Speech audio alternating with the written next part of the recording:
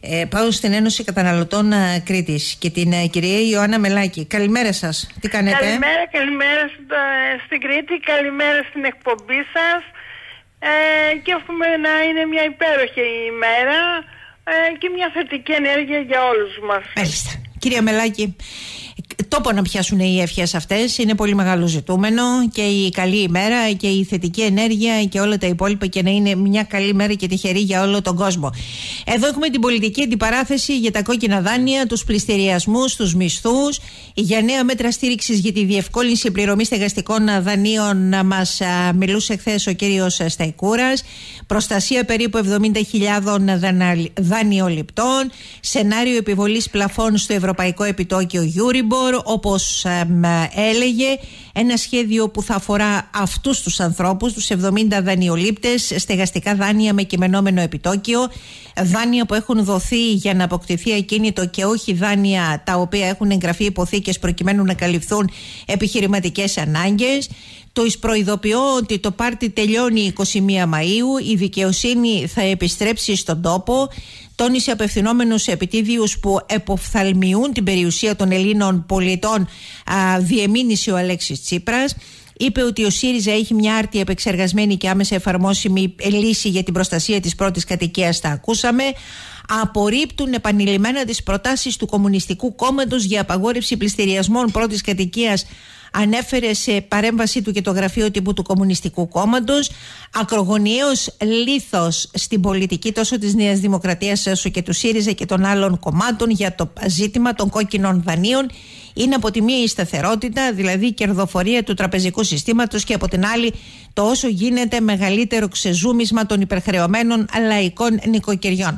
Αυτά λέγονται από τις ε, πολιτικές δυνάμεις ε, της χώρας. Η πραγματικότητα ποια είναι αυτή την ώρα, κυρία Μελάκη, γιατί μόλις πριν από μερικές μέρες πήραμε και εκείνη την ανακοίνωση, δελτίο από εσάς ότι ε, το δικαστήριο έδωσε μια πραγματικά μεγάλη ανάσα σε μια συνταξιούχο διασώζοντας την περιουσία της. Ποια είναι λοιπόν η πραγματική εικόνα; Λοιπόν, ε, εμείς θα ακούμε θετικά αυτά που λένε. Ε, ευχόμαστε να τα εφαρμόσει ο καθένας αν έρθουμε στην εξουσία. Όμως δυστυχώς έχουμε παρελθόν όλοι μας, έχουμε μνήμη και αυτό θέλουμε να τονίσουμε στον κόσμο, στον κόσμο που υποφέρει, στον κόσμο που ζορίζεται, στον κόσμο που κάθε μέρα δέχεται τηλεφωνήματα απειλητικά, ε, φοβιστικά ε, για ελάχιστα ευρώ, για τους πληστηριασμούς που εξακολουθούν να γίνονται. Ε, είναι μια μεγάλη πληγή την οποία εμείς σαν Ένωση Καταναλωτών Κρήτης να απορροφούμε κάθε μέρα βλέπουμε πονεμένους πολίτες, βλέπουμε κλαμμένους πολίτες, βλέπουμε ε, να λιποθυμούν στα γραφεία μας οι πολίτες. Λοιπόν, είναι ένα μεγάλο θέμα και δεν ξέρω τα ψέματα αυτά αν τα μαζέψουν να δώσουν μια λύση. Εμείς θα καταθέσουμε πρόταση για όλους αυτούς οι οποίοι λένε το παίζουν σωτήρες διότι υπήρξανε γιατί ένας ο οποίος δεν κυβέρνησε μπορεί να μην έχει ιδέα, να μην ξέρει, να μην πολλά μη. Όμως οι συγκεκριμένοι άνθρωποι που ξανακυβερνήσανε και είχαμε ένα νόμο που και εγώ προσωπικά συνέβαλα στην διαμόρφωση αυτού του νόμου που βοηθούσε. Δεν είπαμε ότι ήταν 100% καλύτερος, αλλά βοηθούσε Στο νόμο Κατσέλη αναφέρεστε. Ε; Ναι, στο 3869 του 2010 ήταν ένας νόμος στον οποίο προβλέψαμε ότι έρχεται μια θύελα οικονομική και η οικονομική θύελα. Είχαμε προβλέψει ότι κάποιοι ε, θα βρεθούν σε δυσκολία και ειδικά αυτός ο νόμος προέβλεπε ότι γι' αυτό κάμανε, αυτοί το κάνανε, μειώσανε μισθούς και συντάξεις κατά τρεις φορές, ε, δώσανε ανακεφαλοποιήσεις στις τράπεζες, δωρεάν χρήμα του ελληνικού λαού που δανείστηκαν από το εξωτερικό, από, το από την Ευρωπαϊκή Κεντρική Τράπεζα με 6% επιτόκιο και ε, στριμώξανε τον Έλληνα πολίτη και καταργήσανε στο τέλος και τον νόμο Κατσέλη, αυτό το γνωστό νόμο Κατσέλη. Μπορούμε να πούμε ότι δεν ήταν ο αρτιότερος, όμως βοήθησε αυτούς οι οποίοι, ε, ε, όπως είπα προηγούμενα, μειώθηκε η σύνταξή τους, μειώθηκε ο μισθός τους. Τώρα αυτά που λένε, τα λέμε εμείς ε, δεν ξέρω λαϊκά, ανακορακίστικα. Δεν παίρνει, ε, ε, εδώ πρέπει να πούμε το έγκλημα που έγινε. Εμείς σαν ενός καταναλωτών... Το είπατε πριν από λίγο. Μειώθηκαν οι μισθοί κατά τρεις φορές κάτω, οι συντάξεις κατά τρεις φορές κάτω. Δυστυχώς τα δάνεια δεν έπεσαν, οπότε από εκεί και πέρα κάποιος σε κυνηγάει γιατί εσύ εκ των πραγμάτων, χωρίς τη δική σου την ευθύνη, χωρίς να έχεις εσύ την ευθύνη, κάποιος σε κυνηγάει. Η αλήθεια είναι αυτό και η αλήθεια είναι ότι ε, ο καθένας προσπαθεί τώρα επίκαιρα να πάρει το κομμάτι το δικό του για να κυβερνήσει αλλά πιστεύω και εύχομαι ο ελληνικός λαός να έχει μνήμη ο ελληνικός λαός να καταλάβει ότι πλέον δεν είμαστε σε άλλη εποχή να είμαστε πίσω από κομματάρχες.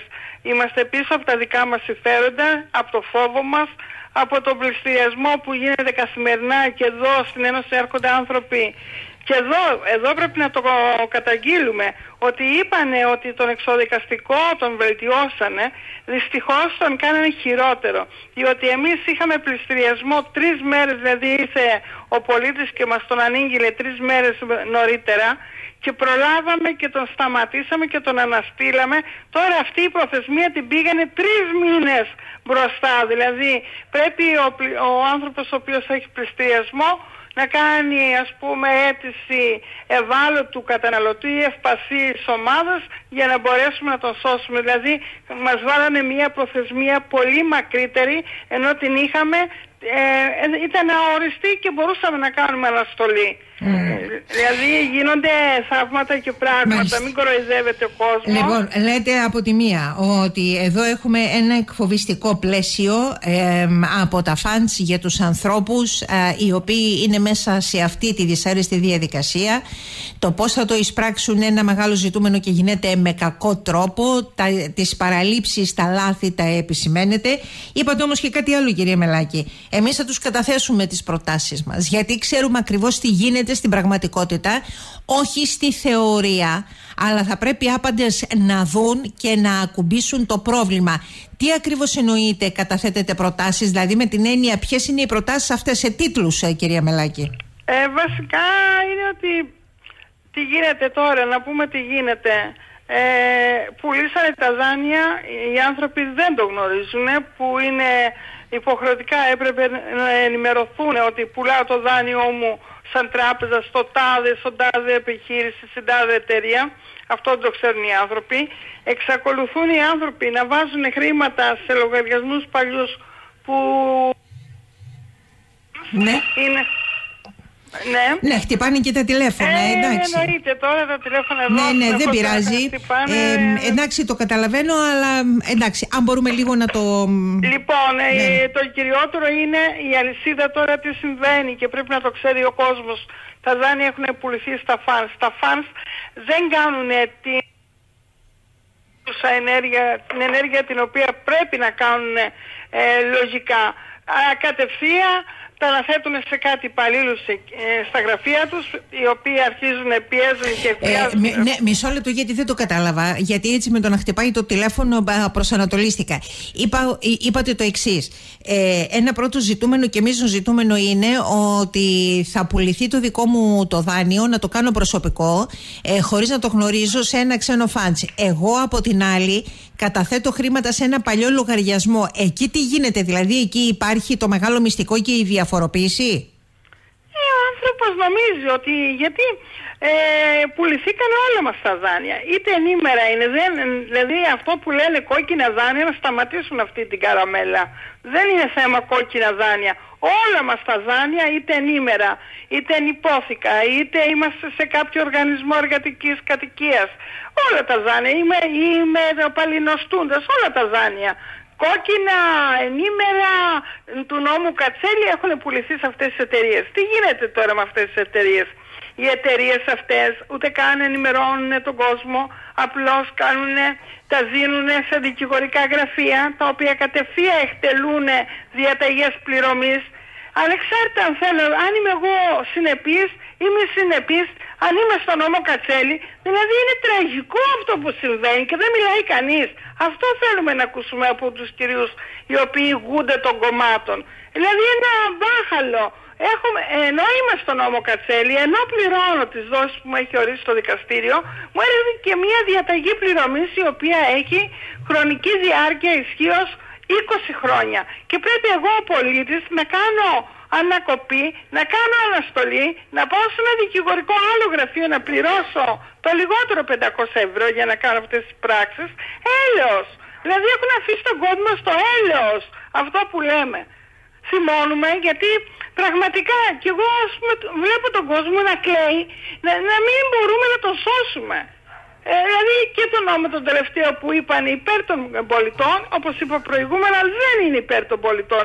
Τώρα πρέπει δηλαδή ο πολίτης, ο οποίος είναι στο χωριό του, ο οποίος δεν παρακολουθεί και στο κάτω-κάτω τι να καταλάβει, αφού δεν ξέρει ούτε από νομικιστικούς όρους, ούτε από λογιστικούς όρους, τι να καταλάβει. Και δεν έχει καταλάβει και δεν ξέρει και δεν γνωρίζει και αυτό που είπατε πριν από λίγο, ότι παντός είδους δάνεια, παντός είδους δάνεια, ότι έχουν πουληθεί. Όλα τα δάνεια έχουν πουληθεί και εδώ είναι το ζητούμενο και πρέπει να τα ακούσουν οι άνθρωποι από την εκπομπή σας ότι πρέπει να τρέξουν σε ενώσει καταναλωτών που δεν πληρώνουν κάτι Δηλαδή υπάρχει συμβουλευτική, υπάρχει καθοδήγηση χωρίς να υποχρεώνει το πολίτης να πληρώνει 300 και 400 ευρώ. Δεν είμαι κατά των δικηγορικών γραφείων διότι οι άνθρωποι εργάζονται και έχουν λειτουργικά κόστη. Αλλά από την άλλη μεριά ο πολίτης σήμερα δεν έχει.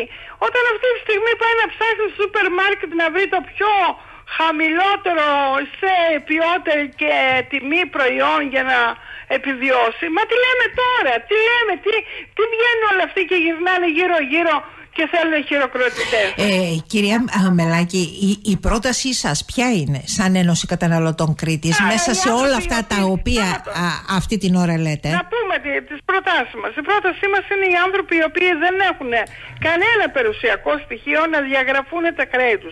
Μην τους κυνηγούν και στον άλλο κόσμο. Ε, πρώτο είναι αυτό. Δεύτερο... Είναι διαγραφή χρεών, ε, αυτή είναι η ευάλωτη κατηγορία; Όχι, αυτό ε, εννοείται ότι όταν δεν έχω κανένα περιουσιακό στοιχείο και δεν έχω δουλειά, τι έχω, τίποτα. Είμαι ένα αιωρούμενο πλάσμα το οποίο τρέχω από συσίτιο σε συσίτιο, από επίδομα σε επίδομα. Αυτοί οι άνθρωποι γιατί να έχουν αυτό το βάρος; Τραγικό. Δηλαδή και να α, δέχονται αυτά τα τηλεφωνήματα και βέβαια το δεύτερο είναι ε, η ηλικία. Ναι, να υπάρξουν και ηλικιακά όρια. Όταν είσαι πάνω από τα 65 και παίρνεις την εθνική σύνταξη, από πού θα πληρώσεις αυτό το χρέος; Και γιατί να σε ενοχλούν γέροντα άνθρωπο καθημερινά τα, τα τηλέφωνα να σε φοβίζουν και το ένα το άλλο, αφού δεν έχεις να πληρώσεις. Παίρνεις μια εθνική σύνταξη, δεν έχεις ε, κανένα περιουσιακό στοιχείο, γιατί να σε κυνηγούν. Ένα είναι αυτό. Δεύτερο είναι ότι πρέπει να, ε, μπει, να μπουν κάποιοι, να εργαστούν κάποιοι ε, για να βάλουν ειδικά αυτοί οι οποίοι έχουν περιουσιακά στοιχεία και εννοούν πρώτη κατοικία να κοστολογήσουν να πληρωθεί στην αντικειμενική αξία ε, το ποσό. Δηλαδή αν χρωστάω 300 χιλιάρικα για αντικειμενική μου αξία είναι 60.000 να πληρώσω 60 χιλιάρικα και όχι να μου ζητάνε 300 και 500. Δηλαδή πράγματα πρέπει να γίνουν, να γίνει ένας αντίστοιχος νόμος Κατσέλη, ε, αυτό θα φέρουμε εμείς δηλαδή, κάτι παρόμοιο, όχι ακριβώς το ίδιο, για να σωθεί ο κόσμος, για να φύγει από αυτό το άγχος, από αυτό το φόβο και να, να τρέχει από εδώ και από εκεί, να του τάσουν ελπίδα.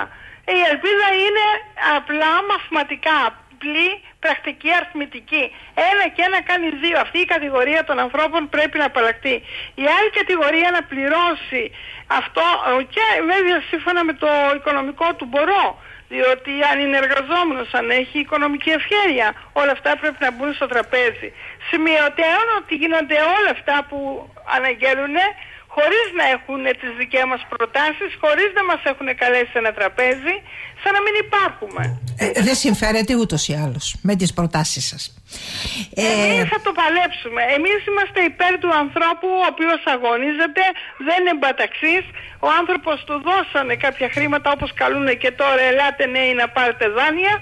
Ε, του δώσαμε κάποια χρήματα να κάνει ένα κεραμίδι για τα παιδιά του. Δεν είναι μπαταξής, δεν είναι κλέφτης, είναι ένας εργαζόμενος, είναι ένας άνθρωπος της κοινωνίας και αυτό θέλουμε και εμείς να Η πρότασή σας κυρία Μελάκη θα κατατεθεί σε όλα τα πολιτικά κόμματα και πριν ε, πάμε στην κάλπη 21 Μαΐου; Εννοείται ότι θα γίνει μια καμπάνια από την Ένωση ε, να το δούνε και αυτοί και να το βάλουμε στο πρόγραμμά τους διότι τώρα στην ουσία κοροϊδεύουν τον κόσμο και ο κόσμος από κάτω χειροκροτάει διότι έχει κολλήσει στο παλιό, στο παλιό κομματικό, στον πατέρα του που ήταν στο τάδε κόμμα. Ε, δηλαδή οι άνθρωποι πρέπει ήδη να αλλάξουμε. Αν δεν αλλάξουμε εμείς δεν θα αλλάξει τίποτα. Κυρία Μελάκη, σας ευχαριστώ πολύ. Να είστε καλή. Καλημέρα σας. Καλή δύναμη στο έργο σας. Επίσης, καλημέρα. Γεια σας.